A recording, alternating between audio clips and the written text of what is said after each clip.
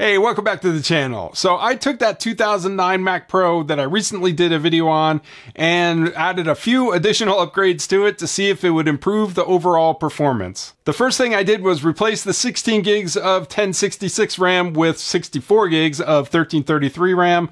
I then took out the PCIe adapter with the SSD card on it and put in a new adapter with an NVMe drive on it. That's a 500 gigabyte NVMe drive. And the last thing I did was take out the AMD Radeon RX 470 and replace it with an RX 5700. So in this video, I'm going to show you the before and after benchmarks on some synthetic benchmarking tools. And then I'm going to talk about some video editing performance if there was any change. Then at the very end of the video, I'm going to give you my opinion on if these upgrades are worth it and also if a 2009 or 2010 Mac Pro is worth buying in today's environment. So before I jump into these benchmarks, I just wanted to point out that when I did these benchmarks, I did several runs and then took the average of all those runs. So these are not the results of one, just one single run, but a good representation of what the score is over several runs of each of these benchmarks. So first up, we have Cinebench R20, and because this is primarily a CPU benchmarking tool now,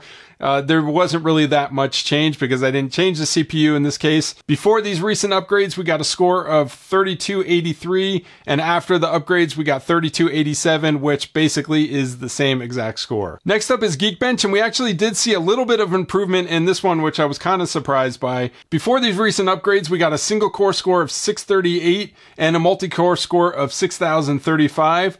After these upgrades, we got a single core score of 645, so that bumped up a little bit, and a multi core score of 6226. So we had uh, about a 200 point jump in the multi core score. Next up was Unigine Heaven, and there was a pretty significant jump here, but that's not really a surprise because we put in a much faster video card and the faster RAM. That faster RAM does play a little bit of a part into this, even though it's primarily a graphics uh, benchmarking tool.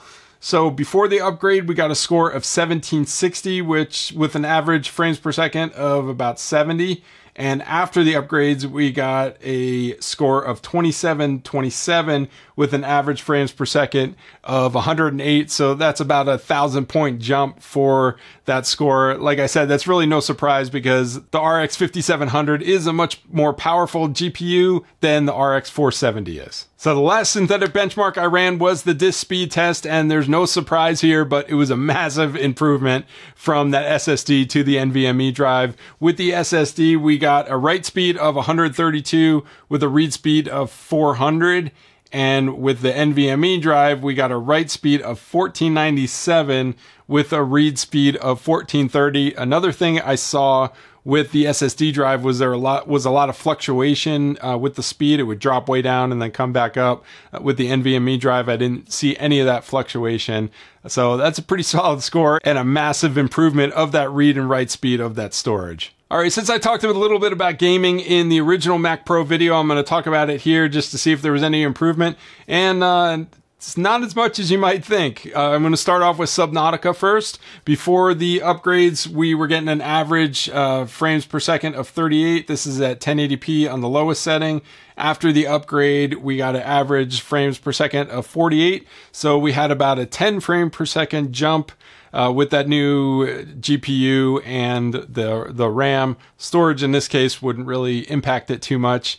Uh, I honestly was expecting a little bit larger jump than that, but 10 frames per second, I'll take it. So the next two, I was really surprised because there was really no change at all uh, from before the upgrade to after the upgrade. Uh, next up is Seven Days to Die, 1080p medium settings. Before the upgrade, we got about 52 frames per second. After the upgrade, we got 53 frames per second.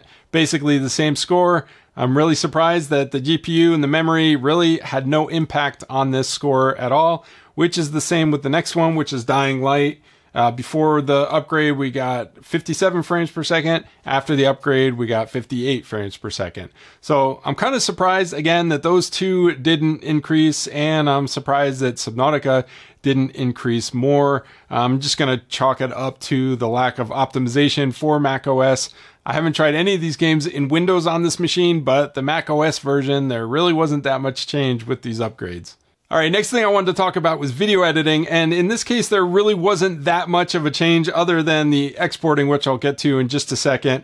On these older machines, scrubbing through 4K footage is a little bit sluggish, and uh, that's true on this machine. After the upgrade, it was a little bit smoother, but not as smooth as you're going to get on a more recent machine. So as far as scrubbing through the footage, there really wasn't that much of a change. I did notice in DaVinci Resolve sometimes when I would start playing the footage on the timeline, it would take like just a split second to get up to speed.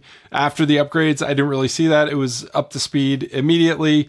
Uh, going through the transitions, it was smooth both before and after, both in DaVinci Resolve and Final Cut Pro. I did notice that um, you could have a little bit more complex timeline with these upgrades than you could before, before you started seeing some slowing down. So there definitely was some improvement in that regard. Now, where there was the biggest improvement is with the exporting. I ran the Bruce X benchmark in Final Cut Pro both before and after the upgrade. So before it took about 23 seconds to do the full export with the Bruce X benchmark. And with the upgrades doing that test again, it only took about 15 seconds. So shave roughly 10 seconds off of the export time. I may do some testing in the future with a little bit longer and more complex timeline, but this Bruce X benchmark gives a pretty good representation of the performance gain when you're rendering out the file.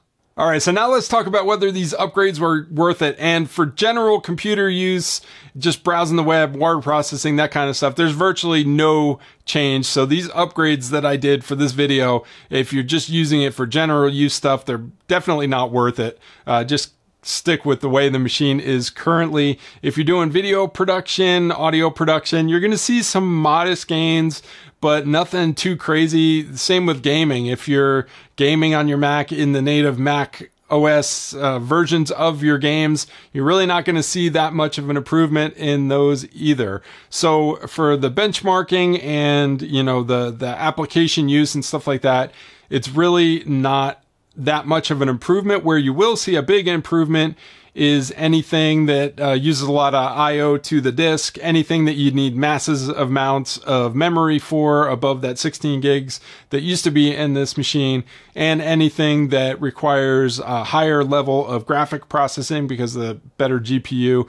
You're going to see some changes in those, but those are a little bit hard to quantify uh, because those are usually buried in other processes. So it's hard to benchmark those things, but if you're using those kind of processes, you will see an improvement in this, but otherwise, for the, most people, you're really not going to see too much of a change. So now after using this machine for about a year, adding all kinds of upgrades to it, including the upgrades that I talked about in this video, would I recommend buying one of these in today's market? And for most people, I would have to say that answer is no.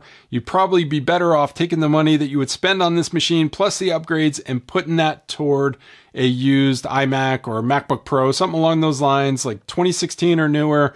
Uh, I have a 2017 iMac. It's a base model, but it is upgradable. I'm actually going to do a video on this uh, where I upgrade the CPU and the RAM and the hard drive in that machine as well. But those some of those machines do have some upgradability. They have Thunderbolt 3, so you can add an external GPU. They're going to have much longer support uh, from Apple for the hardware.